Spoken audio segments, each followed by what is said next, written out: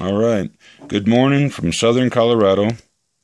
This is an MGO exotic that I've been working with. Um, it's hemp fiber reinforced. It um, what else to say about it?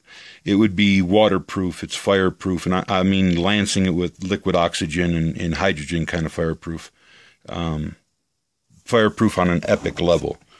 The it come it, it actually had another binder in the mold. Um, it would cast out of silicone really well. Is that's actually kind of a pretty the the look, um, even though it was messed up. The um, it wasn't made for a floor tile. This is just a test ingot. It's a wall board, three quarter inch. Don't try this with a regular piece of tile or concrete. I mean, you'll freaking hate me.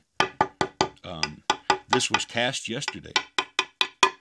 Uh, it takes one hour to cast, and you better hurry. It takes about 30 minutes to work, about an hour to cast solid. You get a, four hours, and it's like this. Not quite this hard, uh, but pretty close. Um, you can pull it out of the mold in an hour. For manufacturing, it's literally the fastest thing I can think of. I want Elon Musk to see this so bad.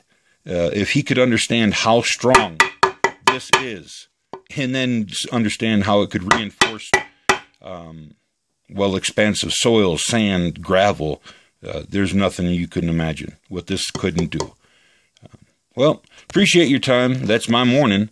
Um, well, you can see what entertains hillbillies. Uh, it is what it is when you're. Yeah, I just I just researched the hemp fiber, and I do appreciate your time and and when you re, retweet these things and when you like them, and thank you for your comments. All right, bye bye.